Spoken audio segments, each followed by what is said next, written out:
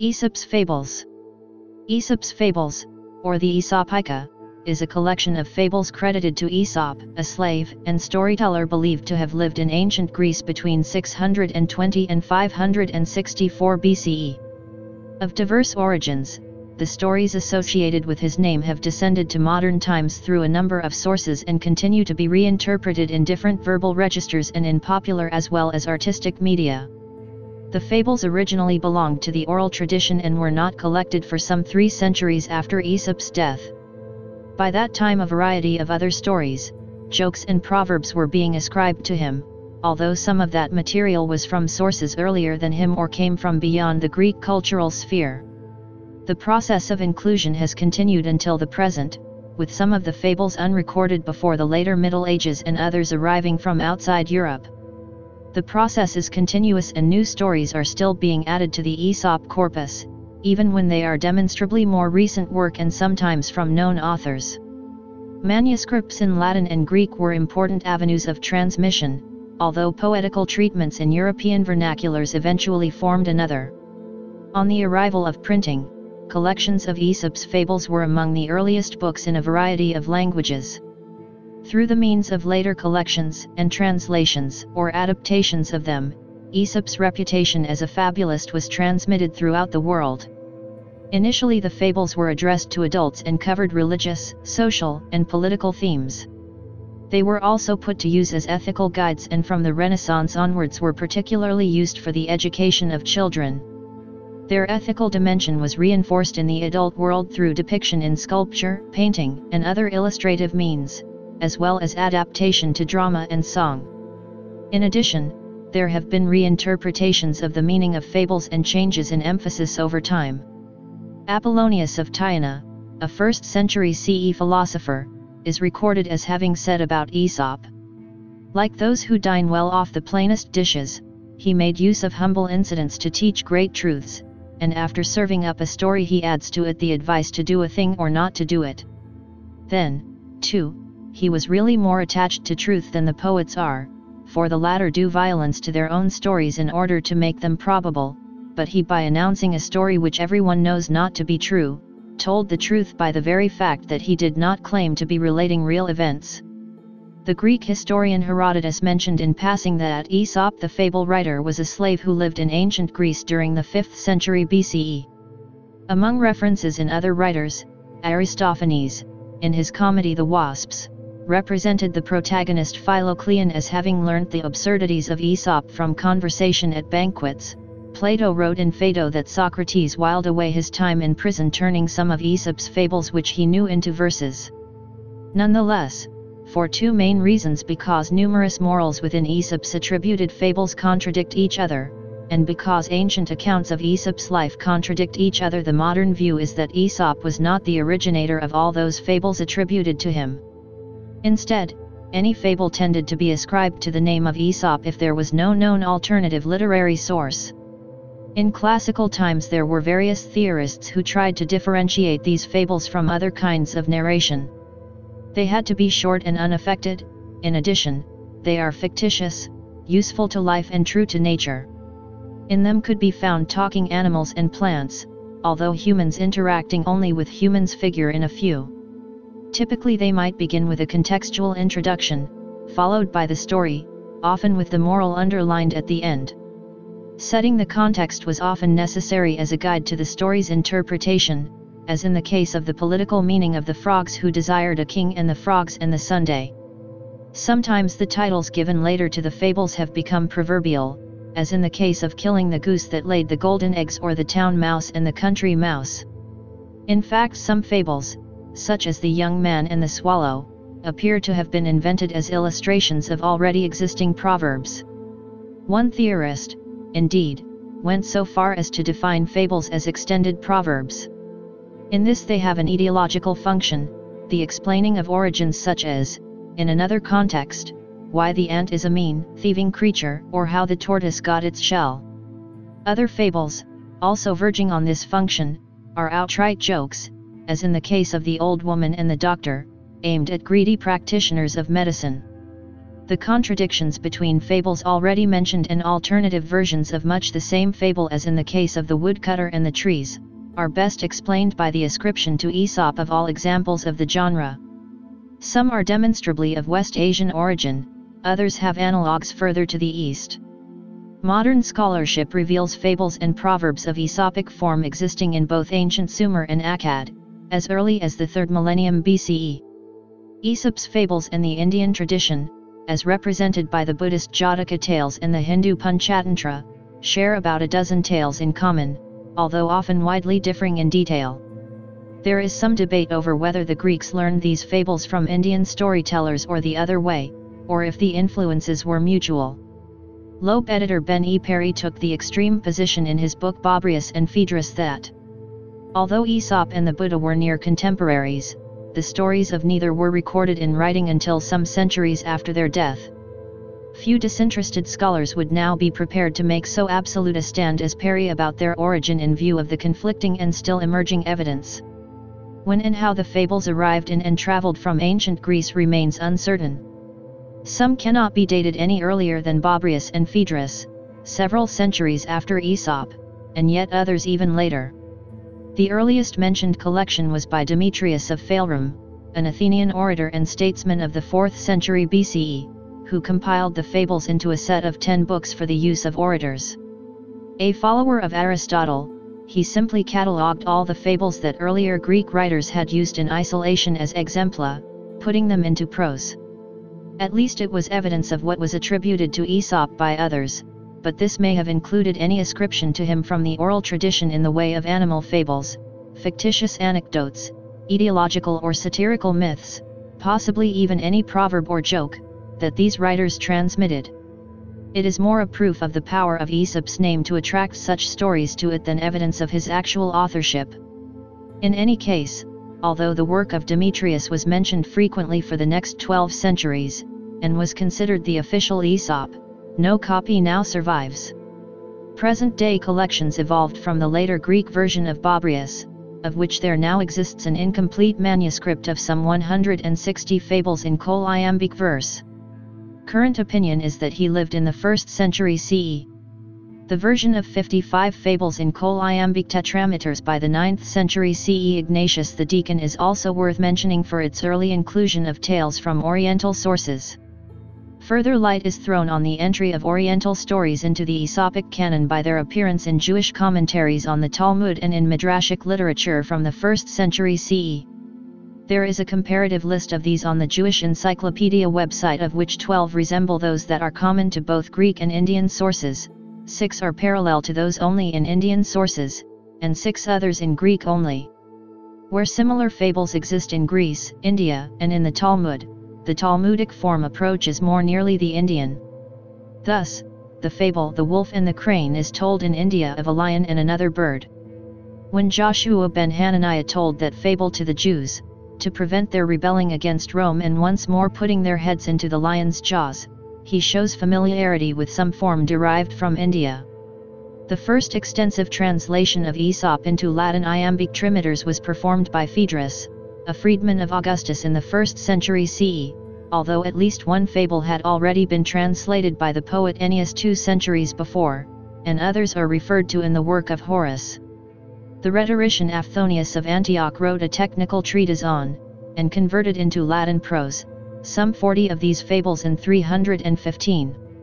It is notable as illustrating contemporary and later usage of fables in rhetorical practice.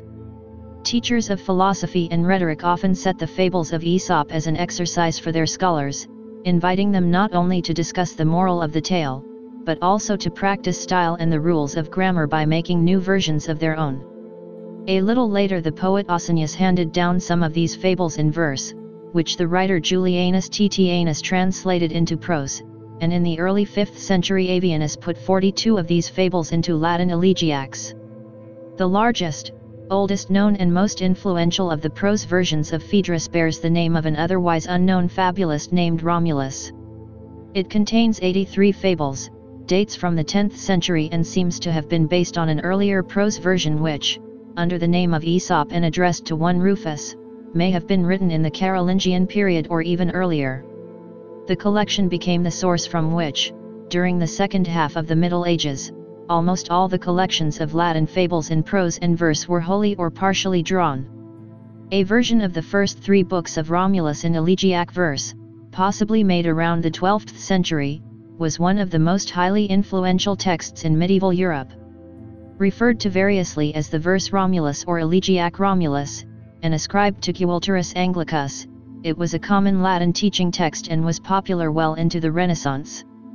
Another version of Romulus in Latin elegiacs was made by Alexander Neckam, born at St. Albans in 1157. Interpretive translations of the elegiac Romulus were very common in Europe in the Middle Ages. Among the earliest was one in the 11th century by Adhemar of Chabannes, which includes some new material.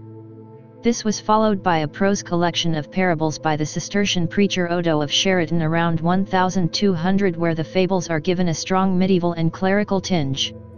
This interpretive tendency, and the inclusion of yet more non-Aesopic material, was to grow as versions in the various European vernaculars began to appear in the following centuries. With the revival of literary Latin during the Renaissance, authors began compiling collections of fables in which those traditionally by Aesop and those from other sources appeared side by side. One of the earliest was by Lorenzo Bevilacqua, also known as Laurentius Abstemius, who wrote 197 fables, the first hundred of which were published as Hecatomythium in 1495.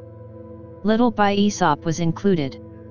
At the most, some traditional fables are adapted and reinterpreted, the lion and the mouse is continued and given a new ending, the oak and the reed becomes the elm and the willow, the ant and the grasshopper is adapted as the gnat and the bee with the difference that the gnat offers to teach music to the bee's children. There are also medieval tales such as the mice in council and stories created to support popular proverbs such as still waters run deep and a woman, an ass, and a walnut tree, where the latter refers back to Aesop's fable of the walnut tree. Most of the fables in Hecatomythium were later translated in the second half of Roger L'Estrange's Fables of Aesop and other eminent mythologists. Some also appeared among the 102 in H. Clarke's Latin Reader, Select Fables of Aesop, with an English translation, of which there were both English and American editions. There were later three notable collections of fables in verse, among which the most influential was Gabriel Faerno's Centum Fabulae. The majority of the hundred fables there are Aesop's but there are also humorous tales such as the drowned woman and her husband and the miller, his son, and the donkey. In the same year that Faerno was published in Italy, Hieronymus Osius brought out a collection of 294 fables titled Fabulae Aesopi Carmine Elegiaco Redditi in Germany. This too contained some from elsewhere, such as the dog in the manger. Then in 1604 the Austrian Pantaleon Weiss, known as Pantaleon Candidus, published Centum et Quinquaginta Fabulae. The 152 poems there were grouped by subject, with sometimes more than one devoted to the same fable, although presenting alternative versions of it, as in the case of the hawk and the nightingale. It also includes the earliest instance of the lion, the bear, and the fox in a language other than Greek. Another voluminous collection of fables in Latin verse was Anthony Alsop's Fabularum Aesopicarum Delectus. The bulk of the 237 fables there are prefaced by the text in Greek, while there are also a handful in Hebrew and in Arabic, the final fables, only attested from Latin sources, are without other versions. For the most part the poems are confined to a lean telling of the fable without drawing a moral. For many centuries the main transmission of Aesop's fables across Europe remained in Latin or else orally in various vernaculars, where they mixed with folk tales derived from other sources. This mixing is often apparent in early vernacular collections of fables in medieval times. The main impetus behind the translation of large collections of fables attributed to Aesop and translated into European languages came from an early printed publication in Germany. There had been many small selections in various languages during the Middle Ages but the first attempt at an exhaustive edition was made by Heinrich Steinhöwel in his Aesopus, published c. 1476. This contained both Latin versions and German translations and also included a translation of Rinuccio da Castiglione's version from the Greek of a life of Aesop. Some 156 fables appear, collected from Romulus, Avianus and other sources, accompanied by a commentarial preface and moralizing conclusion, and 205 woodcuts. Translations or versions based on Steinhöwel's book followed shortly in Italian, French, Czech, and English and were many times reprinted before the start of the 16th century. The Spanish version of 1489, La Vida del Icipet con sus fabulas historiadas was equally successful and often reprinted in both the Old and New World through three centuries. Some fables were later treated creatively in collections of their own by authors in such a way that they became associated with their names rather than Aesop's. The most celebrated were La Fontaine's fables, published in French during the later 17th century. Inspired by the brevity and simplicity of Aesop's, those in the first six books were heavily dependent on traditional Aesopic material, fables in the next six were more diffuse and diverse in origin. At the start of the 19th century, some of the fables were adapted into Russian, and often reinterpreted, by the fabulist Ivan Krylov. In most cases, but not all, these were dependent on La Fontaine's versions. Translations into Asian languages at a very early date derive originally from Greek sources.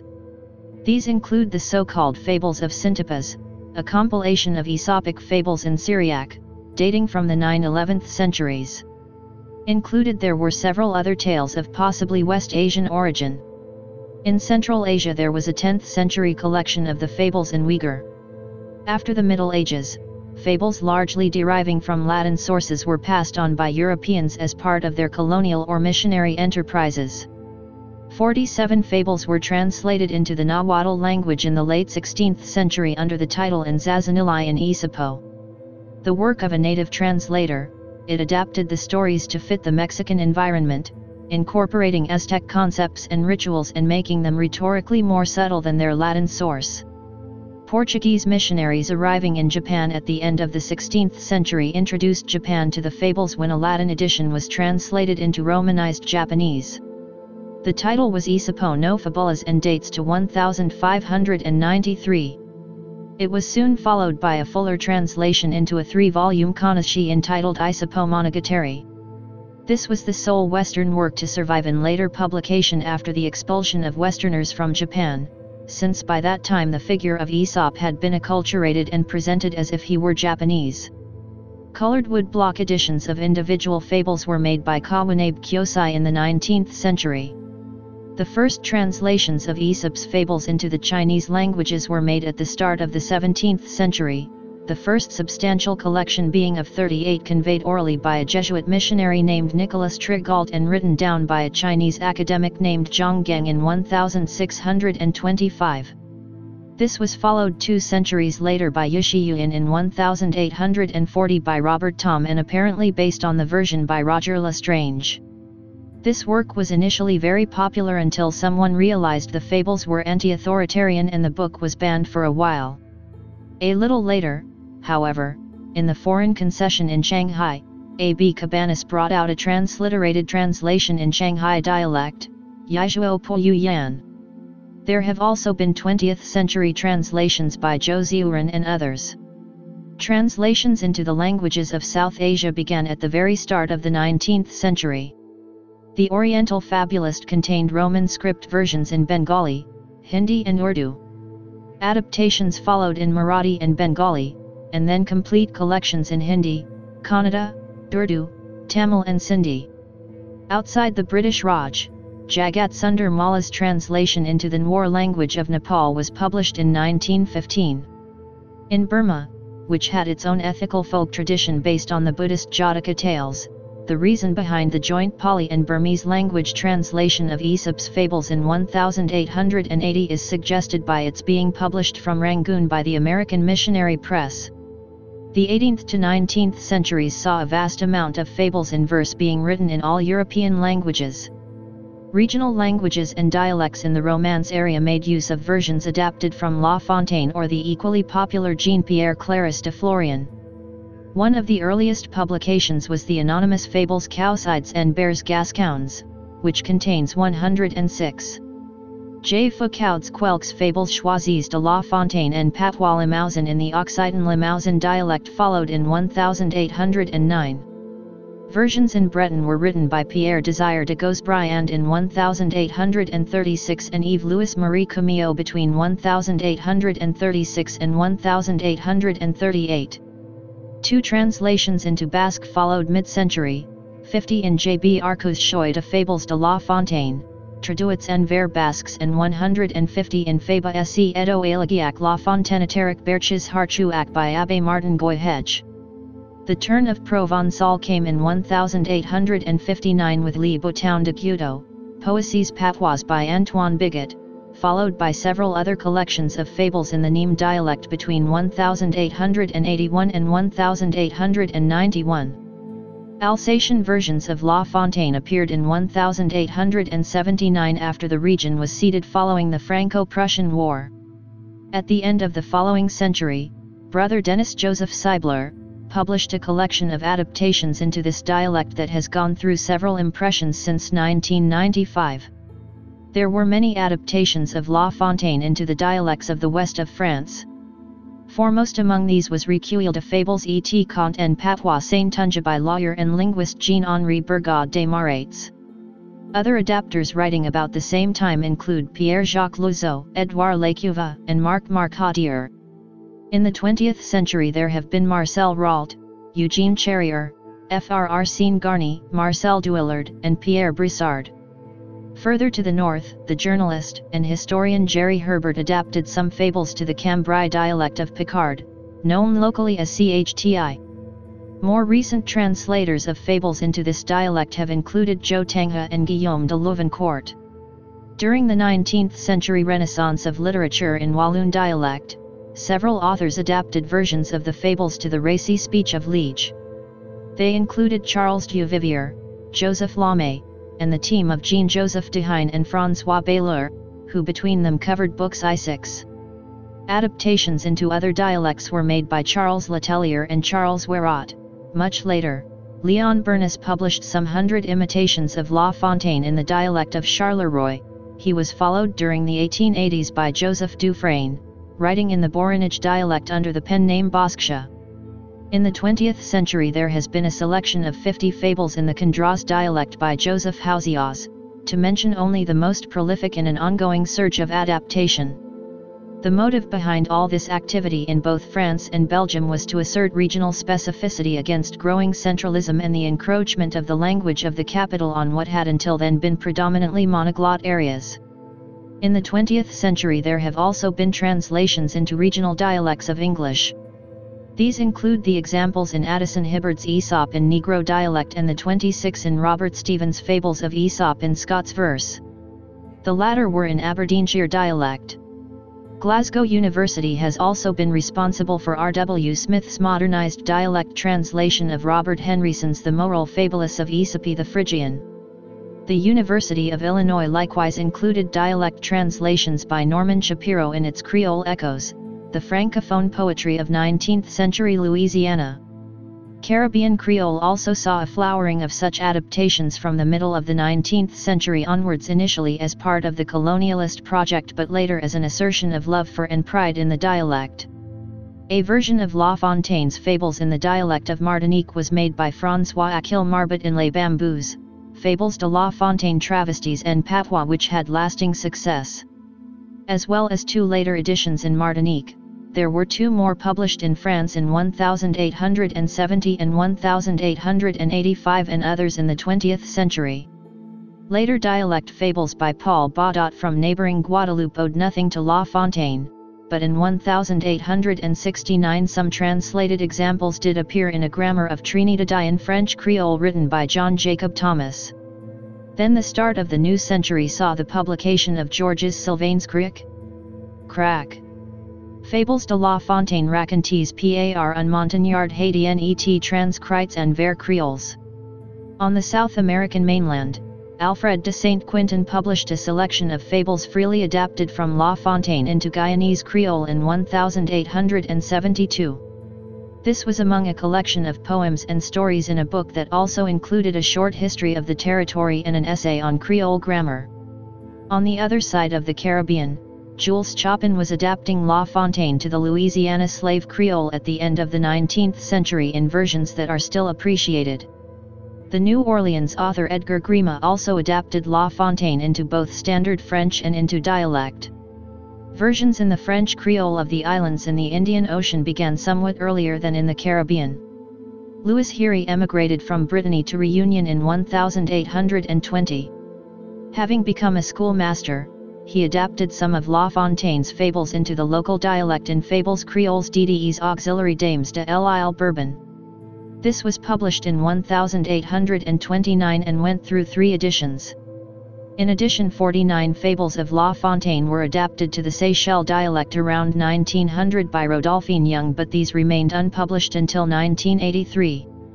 Jean-Louis Roberts' recent translation of Babrius into Reunion Creole adds a further motive for such adaptation. Fables began as an expression of the slave culture and their background is in the simplicity of agrarian life. Creole transmits this experience with greater purity than the urbane language of the slave owner. Fables belong essentially to the oral tradition, they survive by being remembered and then retold in one's own words.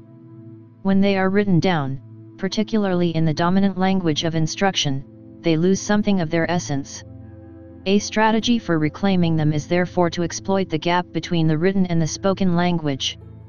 One of those who did this in English was Sir Roger L'Estrange who translated the fables into the racy urban slang of his day and further underlined their purpose by including in his collection many of the subversive Latin fables of Laurentius Abstemius. In France the fable tradition had already been renewed in the 17th century by La Fontaine's influential reinterpretations of Aesop and others. In the centuries that followed there were further reinterpretations through the medium of regional languages, which to those at the center were regarded as little better than slang. Eventually, however, the demotic tongue of the cities themselves began to be appreciated as a literary medium. One of the earliest examples of these urban slang translations was the series of individual fables contained in a single folded sheet, appearing under the title of Les Fables de Gibbs in 1929. Others written during the period were eventually anthologized as Fables de La Fontaine and Argo. This followed the genre's growth in popularity after World War II. Two short selections of fables by Bernard Gelvel about 1945 were succeeded by two selections of 15 fables each by Marcus, API Condret's Recueil des Fables en Argot and Geo Sandry and Jean Kolb's Fables en Argot. The majority of such printings were privately produced leaflets and pamphlets, often sold by entertainers at their performances, and are difficult to date. Some of these poems then entered the repertoire of noted performers such as Bobby Forrest and Yves Denayaud, of which recordings were made. In the south of France, Georges Gaudin published numerous folded sheets of fables in the post-war period. Described as monologues, they use Lyon slang and the Mediterranean lingua franca known as sabir. Slang versions by others continue to be produced in various parts of France, both in printed and recorded form.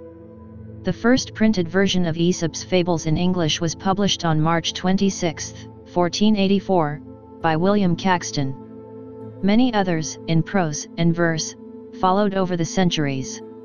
In the 20th century Ben E. Perry edited the Aesopic fables of Babrius and Phaedrus for the Loeb Classical Library and compiled a numbered index by type in 1952.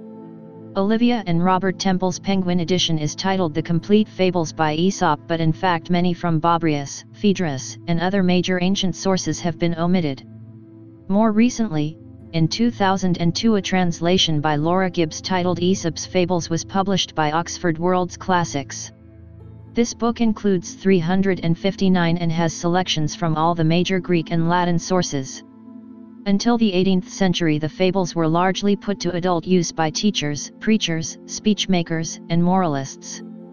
It was the philosopher John Locke who first seems to have advocated targeting children as a special audience in some thoughts concerning education.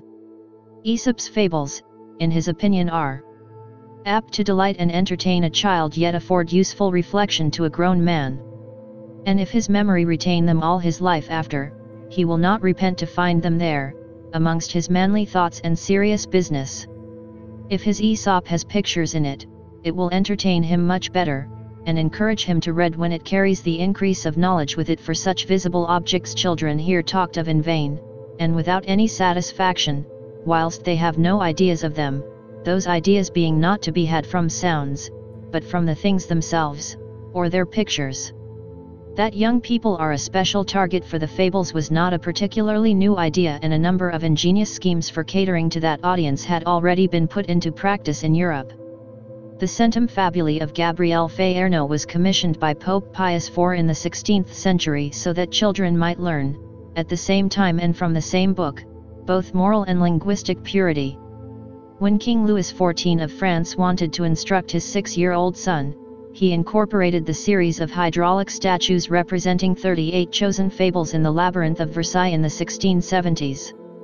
In this he had been advised by Charles Perrault, who was later to translate Faerno's widely published Latin poems into French verse and so bring them to a wider audience. Then in the 1730s appeared the eight volumes of Nouvelles Poésies Spirituelles et Morales sur les plus beaux airs, the first six of which incorporated a section of fables specifically aimed at children. In this the fables of La Fontaine were rewritten to fit popular airs of the day and arranged for simple performance. The preface to this work comments that we consider ourselves happy if, in giving them an attraction to useful lessons which are suited to their age, we have given them an aversion to the profane songs which are often put into their mouths and which only serve to corrupt their innocence. The work was popular and reprinted into the following century. In the UK various authors began to develop this new market in the 18th century, giving a brief outline of the story and what was usually a longer commentary on its moral and practical meaning.